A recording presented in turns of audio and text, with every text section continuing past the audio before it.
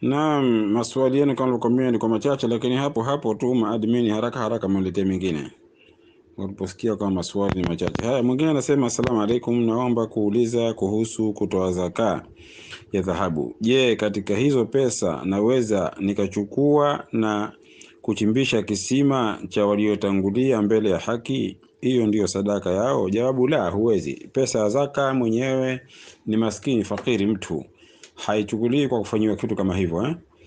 Eh, isipokuwa huko mlango fi sabilillahi, sio huo, lakini kama watu ambao kwamba wako katika fi sabilillahi na wako maulama ambao kwamba wanaingiza mpaka kwa mfano e, mwanafunzi kaenda kusoma pahala naye ni fakiri, naenda kusoma ilmu ambazo kwamba zinastafaa Waislamu naye ni fakiri, anaweza kupewa katika zaka. Lakini kifupi ni mtu, zaka anapewa mtu, hajengewi msikiti, hajengewi chuo, hajengewi, la, haifanyiwi chochote.